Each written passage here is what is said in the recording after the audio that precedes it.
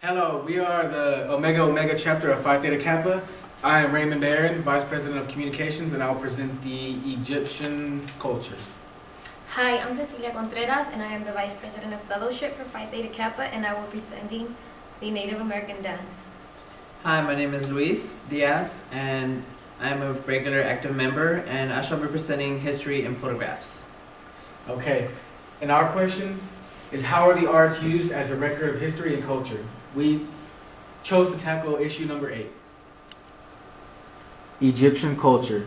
The history of pharaonic Egypt spans nearly three millennia, starting around 3100 BC. The ancient Egyptian civilization changed dramatically over the years. The way these tombs were built and decorated reflects these changes within the Egyptian culture. Major accomplishments were achieved during the three periods the Old, Middle, and New Kingdom, which lasted roughly 500 years, 200 years, and 500 years. These periods were interrupted by intermediate periods where loss of central authority or foreign invasion led to decline. The mastaba was the earliest tomb structure.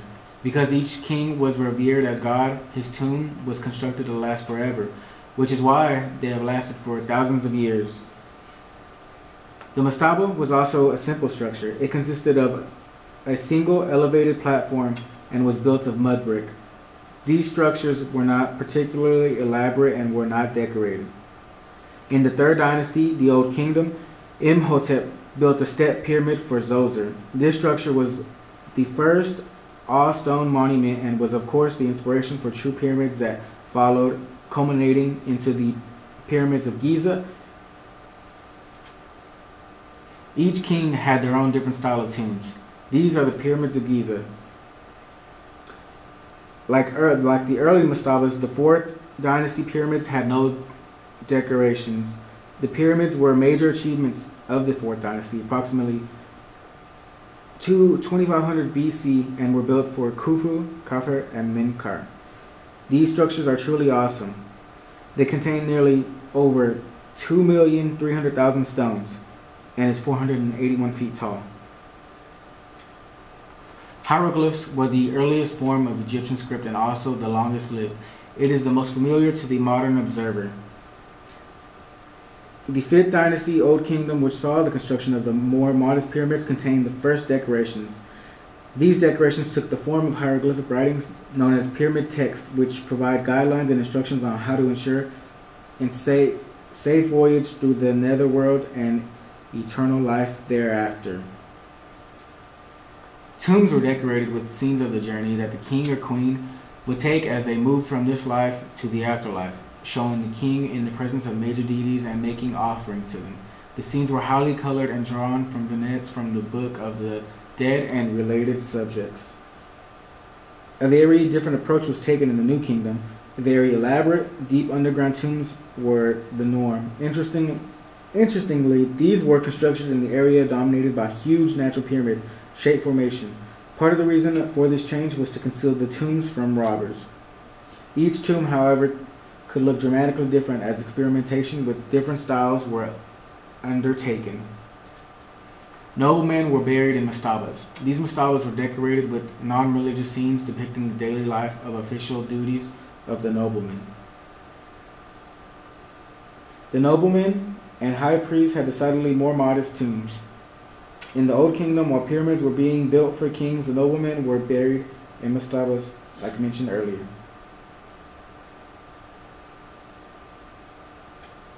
Because of their value contribution to the royal families and noble elite to tomb construction, workers were permitted to build their own house of eternity. A special type of tombs known from the New Kingdom are those of the workers who built the royal tombs in the Valley of the Kings. Although these people were of limited resources, they were well equipped, and skilled in tomb building. The tombs of the workers were notably more modest than those of the Kings or noblemen, typically one fifth of the size of noblemen's tombs, which themselves were one fifth of the size of the king's. These tombs, not constrained by long traditions, tend to be much more charming and show an incredible diversity in their decorations.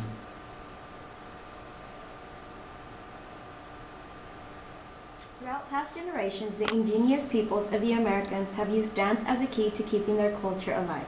Dances were used for many purposes, such as ceremonial storytelling and entertainment. In the recent years, Native American social dances have served as a vehicle to bring us into the next generation. Through these dances, the younger generation is able to keep a continual interest in their culture.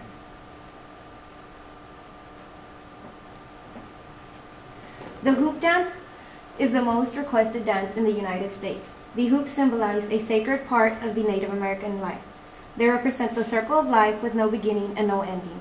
Each added hoop represents another thread in the web of life. The eagle dance is respected and honored by many of the nations indigenous to the United States. Many nations feel that the eagle delivers all of their prayers to the Creator. During this dance, the dancer transforms into this majestic animal as the dance represents the flight of the eagle. The Northern Traditional Dance. This dance is said to be one of the oldest styles of dance to have originated from the Northern Plains. The dance was used after a battle or hunt to depict and share the experience of the day's events. Male traditional dancers wear outfits utilizing historical articles, older beadwork, patterns, and natural colors. They usually wear a single large eagle feather bustle on their back, bone breastplates or full beaded vests, smoked hide leggings, lots of buckskin fringe, and feathered or porcupine hair headdresses. The Grass Dance. The Grass Dance, otherwise known as the Grass Dance Society, are a group of men that search for the perfect area for the dance to occur. After finding the perfect area, they flatten down the grass, fill in the holes, and bless the arena. It is the people's belief that once the dances are complete, the grass rises up as if nothing had happened. Fancy Dance. Originally referred to as the crazy dance, the dance incorporates brighter outfits and faster movements. The fancy dance is a true statement of speed, endurance, and personal expression. Men wear hackle feather bustles on their backs, necks, and arms. They also wear harnesses, capes, aprons, large ankle furs, and bells on their knees. Women use embroidered shawls with beaded or sequenced capes and leggings. The Southern Traditional Dance. Known as the Gentleman's Dance, this dance tells a story about the trackers and pointmen of the tribes. When dancing, the dancer carries a point stick, which is used to draw a circle around the track. The Jingle Dress Dance. This dance was originally performed as a healing dance of the Ojibwe Nation. It is performed in a non-ceremonial style and can be compared to the sounds of the rain. When performing the jingle dress dance, dancers use an up and down motion due to the tightness of the dresses. This in return creates a soothing rhythm. Dresses are typically made with bright satin cloth or velveteen, and the dancers usually carry fans. This dance, the fancy shawl dance, also known as the butterfly dance, represents the beauty and grace of new life. Even though the dance is very upbeat, the dancers look as though they never touch the ground. History and photographs. War. The American Civil War received extensive photographic coverage and unleashed a flood of innovations and presidents. Mathew Brady became the most famous Civil War photographer, but hundreds of others covered the battles, campgrounds, and devastated cities and the impact of the war. The Vietnam War also received extensive coverage. For the first time, uncensored images of brutality were, were brought into the American living room through the evening news. Americans tuned in every night to see what casualties would be appearing on the TV.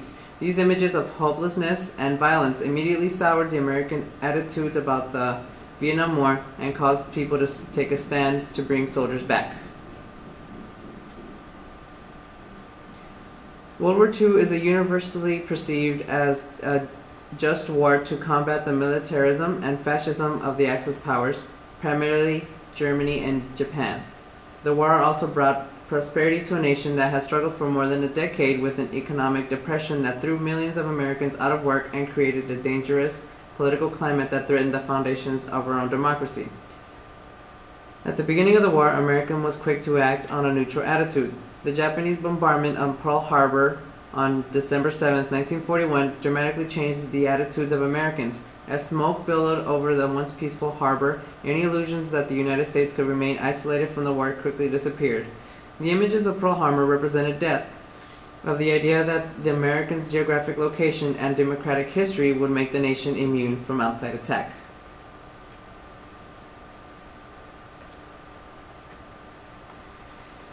The face of depression.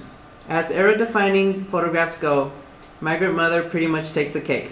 For many, Florence Owens Thompson is the face of the, Ameri- of the Great Depression, thanks to the legendary shutterbug Dorothy Lange. Lange captured the image while visiting a dusty California pea-pickers camp in February 1936, and in doing so, captured the resilience of a proud nation facing desperate times. Dorothy Lange was one of the New Deal photographers. These photographers took to the streets on behalf of the government to snap photos of the country's poor and suffering, to be used as records and to give the nation a sense of unity.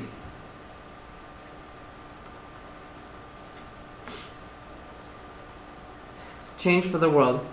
Many photographs have captured the struggles of humanity working towards a better world. Movements like the Civil Rights Movement and the Indian Independence Movement have been documented in thousands of newspapers. Images from Martin Luther King's I Have a Dream speech to Mahatma Gandhi at a spinning wheel continue to inspire young people every day to take a stand and fight for what's best.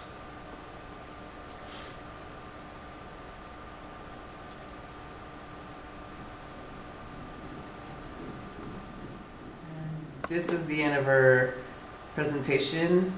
Um, I, I thank everyone for watching this presentation that we helped that we created for you guys. I hope that many of your questions have been answered or and that you learned something from this presentation.